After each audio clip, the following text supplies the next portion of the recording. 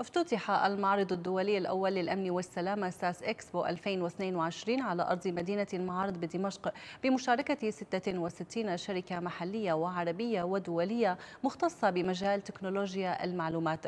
ويطرح المعرض الذي يعتبر الأول من نوعه في سوريا خدمات ومنتجات تتعلق بالأمن السبراني وأنظمة التحكم في الوصول والأنظمة الأمنية الإلكترونية وأحدث تقنيات الكاميرات والمراقبة والسلامة من الحرائق والأمن المادي بكل أنواعها وغير ذلك. وعقب الافتتاح لفت وزير الاتصالات والتقان المهندس إياد الخطيب إلى أن المعرض يعد فرصة جيدة للاطلاع على أداء الشركات ومنتجاتها في هذا المجال وللعاملين في الهيئة الوطنية لخدمات الشبكة.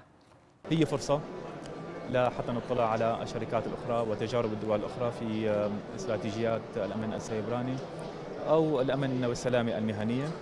أكيد رح يكون هذا الشيء حينعكس ايجابا على العاملين في وزارة الاتصالات وخاصة هيئة خدمات الشبكة المعنية بملف أمن المعلومات في والأمن السيبراني في سوريا. اللي يميز هذا المعرض هو التخصص الجديد فيه كأمن معلومات واتصالات لأول مرة يقام بسوريا معرض مثل هذا التخصص نظرا لاحتياج آه، الحالي له كون سوريا آه، رايحة باتجاه التحول الرقمي بالإضافة التشريعات اللي صدرت بما يخص آه، الدفع الإلكتروني. قررنا نشارك بهذا المعرض لأنه آه، آه، بيهتم بموضوع الأمن والسلامة. لأنه في عندنا نحن مشاريع مثل